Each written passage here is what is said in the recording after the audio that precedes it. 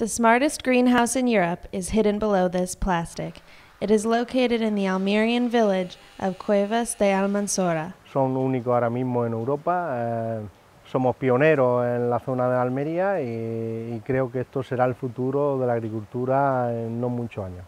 But what's so special about this greenhouse? Es totalmente automático, que es la diferencia que tienen con el resto.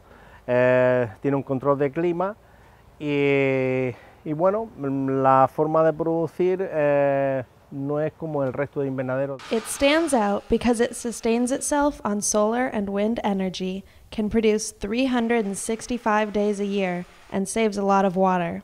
no tiene nada de sustrato ni nada, solamente pasa agua, cada 10 minutos pasa 60 segundos y bueno, eso es lo que tiene la planta. Conforme va creciendo se le va poniendo un pelín más de agua Every day, they plant 14,000 plants from varieties of lettuce called pak choi and baby leaf, a system far superior to outdoor cultivation. En invernadero se harían sobre 3 millones y medio de plantas y en calle al año se haría sobre 130, 140 mil plantas por hectárea. Between the planting and the harvesting, there are 30 days with no need for the worker to move from position. Lo que se mueven aquí son las plantas. Las plantas son las que hacen el recorrido completo para volver a llegar al trabajador para poder recolectarlo.